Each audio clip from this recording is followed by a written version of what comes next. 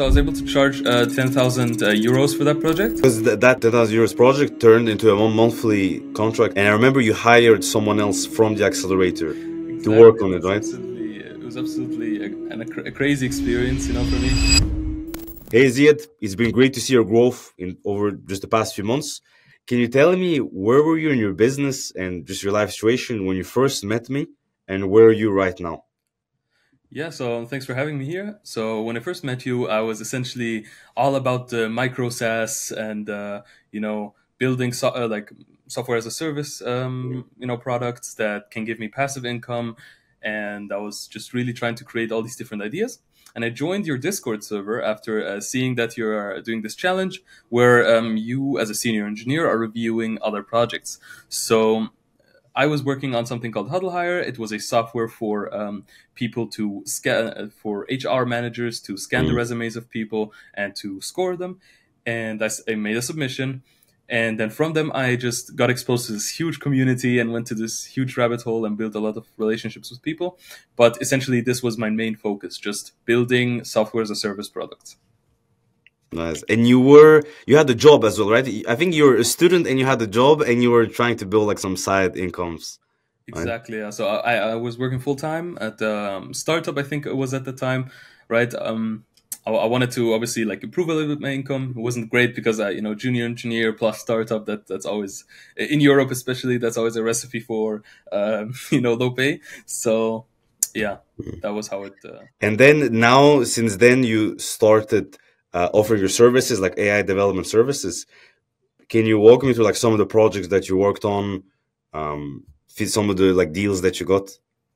Yeah, so prior to actually like me- meeting you and like joining the whole community, I was uh, essentially only involved in one small uh, free- freelance project. I, w- I was having a hard time marketing myself. I was ha- having a hard time doing proposals. Just really kind of shot in the blue, and I kind of got it. Um, I was working for over the summer um, before I joined. Actually, uh, it was yeah, just on a small logistics software I helped along, and it was it felt really like an actual job. It wasn't really independent, right? And I, I don't think I would would have been capable of, of like leading independently a project and like delivering it at the end. So yeah. So you had one project before, like one freelance project before, right? That was the only experience you had really like making money online, essentially working like, with clients. I shouldn't even be mentioning it because technically it was like a job. It really, I was working along a, uh, aside the senior. It was just, mm. hey, there's these issues, there's do these issues. But um, I'm mentioning it because it just shows how how absolutely dependent I am on on like other people and like mm. for them to just really manage the work. But like freelance experience, like marketing yeah. myself and making a business, that was that was a whole different story. Mm. And can you tell me more about like through the community, through the accelerator, what are some of the projects and some of the deals that you got? So yeah, um, so I, uh, so initially I was um, building a you know the that's SaaS um, stuff, and it didn't end up working out. Uh, but I still kept close contact with the community. I met a lot of great people, and then one day I got an email because I was also subscribed to your uh, newsletter, as everybody else should. and uh, you know, I got uh, an advertisement for a project, you know, that uh, is education tech. You know, try um, in the AI space. And I thought, okay, well, I have decent experience with OpenAI and all that stuff. Why just not apply? And I sent over a Loom video of a Huddle Hire and I was walking them through it and other little SaaS I've been creating over the time and also my CV. Um, and then, yeah, surprisingly, I just got an email back. And this is how I got um, closer contact with you, Zaurbek. And um, yeah, the rest is history. Then I got introduced to the client. That's the first thing. Yeah, this was uh, basically for context where one is a friend of mine who was looking to hire a developer to build an MVP for his startup idea. And he asked me, like, do I know some good developers? And I have like, yeah, I have some good developers in the program. So I made an announcement. I said, this is the project. This is like roughly the potential revenue, etc., that you can get. And then who is uh, who is interested, just apply, send me your best project, and I'll select the best developer. And you were one of the few who applied. There was like a short list of three candidates who were selected I sent them to the client and he selected you essentially for it, and then you were able to land the deal. Uh, can you remind me what was the amount of that deal again? Yes, I was able to charge uh, 10,000 uh, euros for that project. Hmm. Um, it, um, I reserved over a span of two months, um, and you know I kind of uh, it was essentially just creating an MVP from scratch um, that you know manifested an idea and, in, and integrated AI into it. So yeah, it was a very Nice. straightforward. Deal. And then you ended up because th- that ten thousand or ten thousand euros project turned into a monthly contract, like a monthly deal. And I remember you hired someone else from the accelerator. Work on it, was right? Absolutely, it was absolutely a, an, a, a crazy experience, you know, for me because um I- found okay, I had some budget left, and the scope of the project was growing, and the um, client felt like he would w- like to pursue a working relationship with me. So um, yeah, I I worked something out with them, and I was able to hire somebody, and then doing that, uh, and yeah, uh, coincidentally, that person was from the accelerator, you know, um, and um, super cool guy and he till today he's doing great work on the on that very specific project Mm, awesome, awesome. And the, the funny thing is, also, I ended up hiring you again for another project, this time for my agency. Because for context, everyone watching, maybe not everyone has context, is I have my own AI development company where we build like AI solutions for businesses as well. So sometimes for some projects that I'm not taking myself, I, I just distribute it to members of the accelerator. And sometimes I would just take this project. It kind of depends on my availability, like what I'm doing at the time and I landed this specific project. And I was like, actually, I remember Ziad in the community is very active. He's like uh, building good stuff, and I have trust that in your skills that if I give you something, you're gonna deliver and you can do it professionally. And so I ended up hiring you for this uh, other project, which was maybe actually you can describe the project that law firm uh, automation project. Exactly. So and um, I, I got hired uh, for your business to build for a law firm a chrome extension that can handle um, you know the automatic filling out of documents. So obviously as you guys know uh, law firms they deal with a lot of bureaucracy. There have to be like dozens of forms that have to be filled out and sent to the court and if there's one mistake it has to be sent back. Mm. and they've been already using a software you know a very established enterprise thing but it is not very good at uh, consistently filling out everything. And then yeah uh, they wanted um, a chrome extension that with ai automatically can just detect that hey i'm on this uh, form and i'm trying to fill something out. Um, please you know deal with the filling out automatically. And um, this was very straightforward Um, yeah, and hopefully this project will turn into a long term deal because we already have like potential of extra features we can add. Th- That's like one of my goals as well is I want to take this client and try to see if we can have like a long term relationship where we have like a monthly um monthly scope of work that we can do for them. That would be pretty cool. Sure. Also, something I'm curious is you you mentioned like joining the community and, and everything. Were there other communities that you joined or other programs you joined before joining the Codebender community, the CodeBender Accelerator? I'm just curious. And if you did, like, how is it different from what you saw? So I must admit that Yes. I was absolutely yeah. So I was absolutely super strictly against joining communities like this. I was kind of um, obviously the environment that we kind of came up with now is is not very friendly towards accelerators and like programs that help you advance business or career, right? Like obviously the the Andrew Tate Hustlers University, Mm. and then a lot of people made videos exposing it. You know that it's really just recycled, uh, washed up information, and oh, you have to have the great mindset, and uh, oh, you have to you just have to to read Yeah, they have like a 10, the first 10 modules is just about the mindset. exactly the 10 first 10 modules are about the mindset and then oh yeah um, have you thought about social media marketing you know which is Mm. like or drop shipping so I, I was really kind of um, against any of that i was just like okay um, i'm gonna you know try to go at it myself you can't really trust the people but since i organically joined the CodeBender community right i wasn't really um, you know coming from it from a perspective oh I, i'm going to join this program right now. But then after seeing kind of how this community works from the inside i kind of like uh, went like okay i think this is uh, worth investing in and uh, investing time and effort in. So yeah um, i joined. Awesome. How would you say actually your mindset changes around business and around what you can do, like as a developer, like someone who has a job and is trying to grow and make money through like other means? How would you say your mindset has changed like those past couple of months? Yeah, I think um, if you focus too much on the technical part, you probably are going to get left behind, right? I I always came from this this perspective that okay, my technical skills are the one that uh, the the ones that are going to matter the most, right? And I felt it was impressive that I can now implement my own authentication system and like whatever. Oh yeah, I can roll my own auth and and you know I know how all that works and whatever. But it it, it two things changed essentially. First of all, my um, my resourcefulness as a developer right mm. prioritize getting things done and making them work reliably you know as opposed to just dragging things along and like trying to over engineer in the beginning right? That's what agile is all, all about but i still really didn't understand it at the end of the day.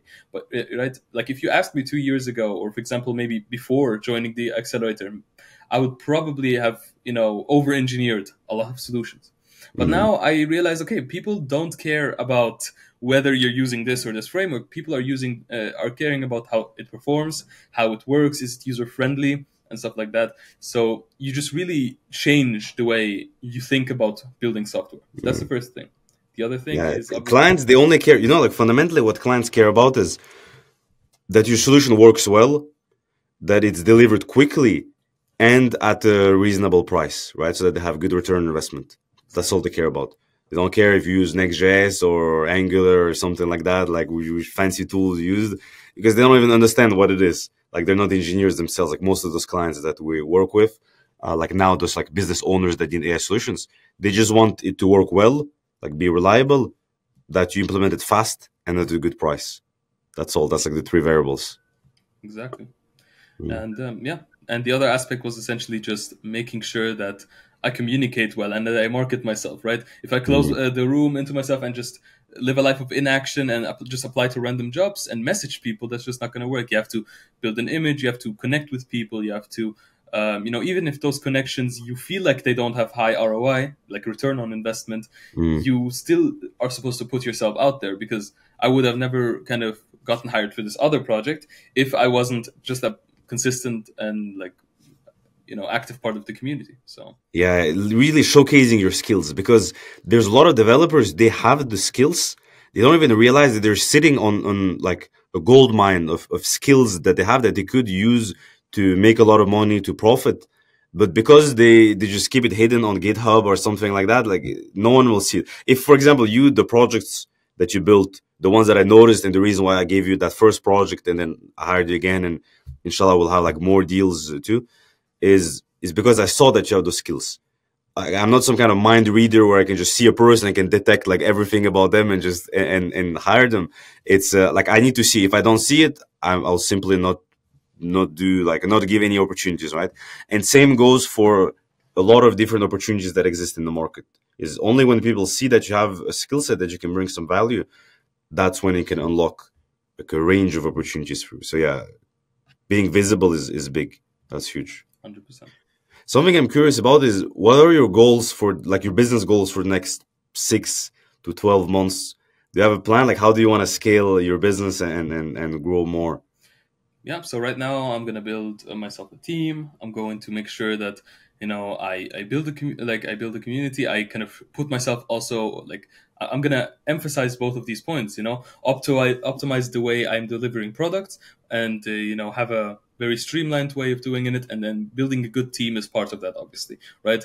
As you grow your business you're not going to be able to do a lot of development by yourself but rather mm. you're going to be doing a lot of management right? And now um, exactly. um, also i need to put myself out more aggressively right? I'm going to maybe start creating content. I'm going to start um, you know speaking to more people going to conferences whatever. If you know there is like get-togethers for companies or developers. Just go there, chat, and meet new people. And I feel like this is just a a setup for mm. a more healthy business down the road.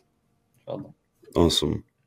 Who would you recommend the Codebender Accelerator to? Who do you think would be would get value from it?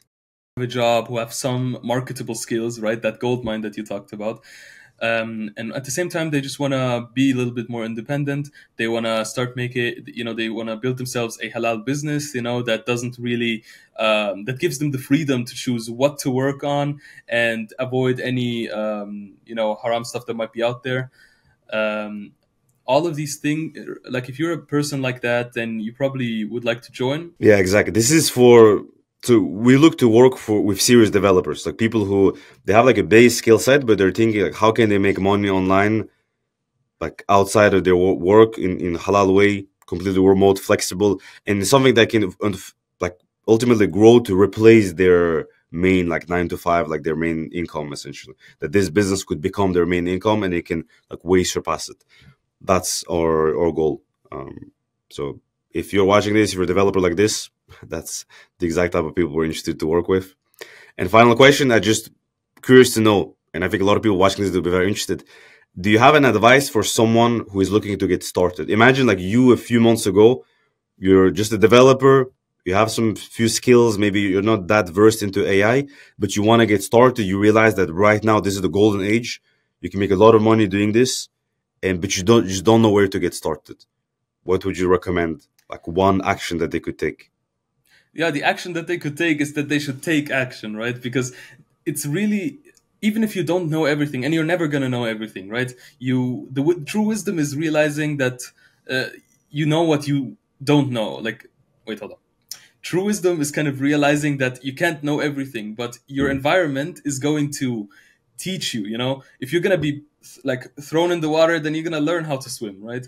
But all mm. you need is to take action. Don't keep building these uh, roadmaps that you created with ChatGPT. And okay, I'm gonna spend one year still learning about the specific technology, and only if I yeah, one year everything can change. Exactly, yeah. like we, like look at how ChatGPT was in 2023 yeah. and now how it is today, right? So it's really the industry is changing. Just take action. Just even if you don't feel like you have all mm. of it figured out because you will never have it all figured out.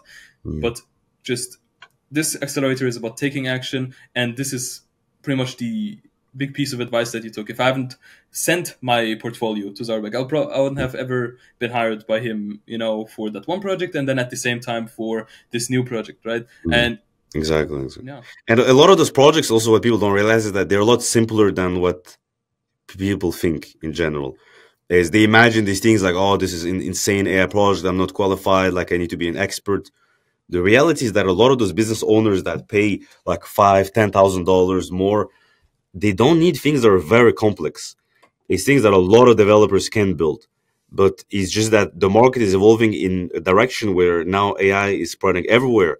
And a lot of those small businesses, law firms, uh, like home service businesses, real estate firms, etc., like recruitment services, like uh, companies, they all need AI now, and they all need things that are not super complicated. And that's where the opportunity is for people like you, me, the people watching this. Those who will act fast, they are gonna reap all the rewards. The people who are a little bit skeptic, who are like a super senior, like uh, tech leads, uh, staff level engineers who are super experienced, they're going to be like, oh no, like AI is just like this thing, like this is stupid, like don't believe in it. Uh, you have like this camp, then you have the camp of, of people who are they already they gave up already. they like this is the apocalypse, or like we're done. We just everything is pointless. So you have those two camps, and those guys, unfortunately, they're not gonna profit at all from this revolution because they just don't take it strategically, like in a smart way. And the people who take action, like you said, maybe they're not the best developers, but the market rewards the speed of action and, and, and people who are opportunistic and they jump on opportunities.